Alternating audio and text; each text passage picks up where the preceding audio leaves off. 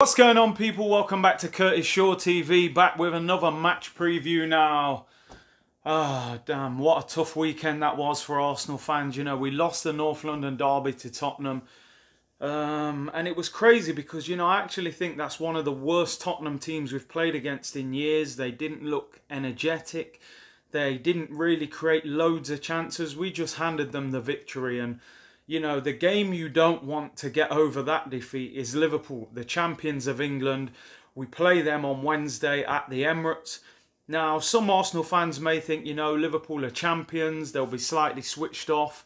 But I think Liverpool will still be at it. You know, Jurgen Klopp has spoken about Liverpool. They want to get 100 points.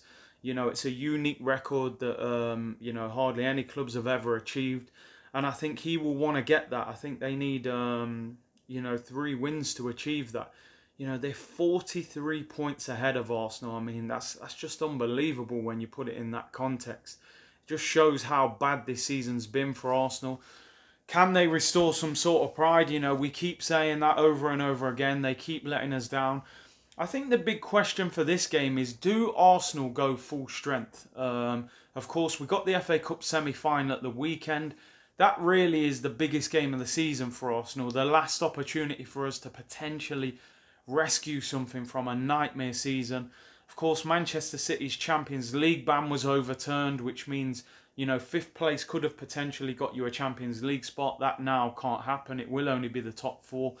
It will be very difficult for Arsenal to get a Europa League place through the Premier League. We'll probably have to win all three remaining games to get that. Um, can you see Arsenal beating Liverpool at home? At the moment, probably not. Confidence is low. Two bad results in a row. A draw against Leicester when we should have won.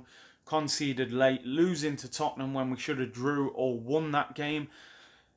How do we approach it? For me, I would play full strength. Um, I just don't think we achieve anything by putting a weaker team out and getting hammered against Liverpool. I don't think that helps anything going into the FA Cup semi-final. Okay, you're protecting the fitness, I suppose, of players, uh, the likes of Aubameyang and that, if you was to give them a rest. But you know, you can get injured in training. I, I think you know we need to build some sort of confidence, and I think we do still have to go for the league. If we could catch Liverpool on a night where they're slightly switched off and they've already won the league. You never know. It's not impossible to beat them. We've got a fairly good record against Liverpool at the Emirates.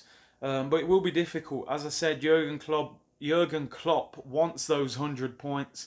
And uh, Mo Salah, if you've seen the last few games, he is desperate to try and get near that golden boot. Um, you know, the guy's shooting from everywhere, you know, been proper greedy in the last few games.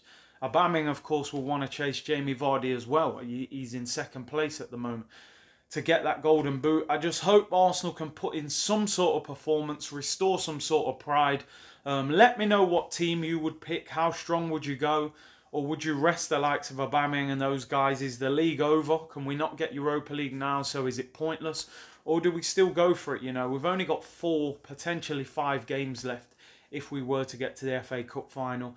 Uh, I'll be doing a live watch along again. You know, I have enjoyed doing the uh, watch alongs. It's just a shame that some of the results haven't been a little bit more positive. Um, so I'll be doing a watch along for the Liverpool game and the rest of the games this season. Um, let me know what you think. What team would you pick? Give me a prediction. What will the score be? Subscribe to the channel. Uh, comment down below. And uh, join me for the watch along. Everyone, take care. Bless.